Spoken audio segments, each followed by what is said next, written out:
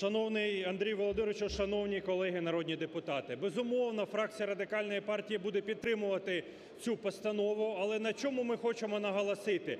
Наше головне завдання – зробити так, щоби українці мали робочі місця в Україні. А для того нам потрібно розвивати свою економіку. Ви подивіться, сьогодні відбувається бюджетний процес. В бюджеті на 600 мільйонів гривень недофінансована вітчизняна наука. Що це означає? Це означає, що ми знову будемо продукувати талановитих емігрантів, які потім будуть виїжджати в інші країни і будувати економіку цих країн. Тому сьогодні треба збільшити фінансування на 600 мільйонів гривень вітчизняної науки для того, щоб будувати міцний фундамент власної економіки і промисловості.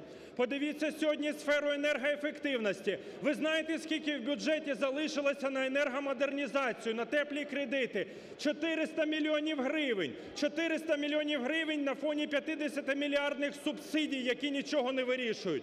Сьогодні цих коштів вистачить на два місяці "теплих кредитів". Що таким чином провладна більшість намагається зробити? Законсервувати енергетичну залежність і бідність українців. Це є абсолютно неприпустимо.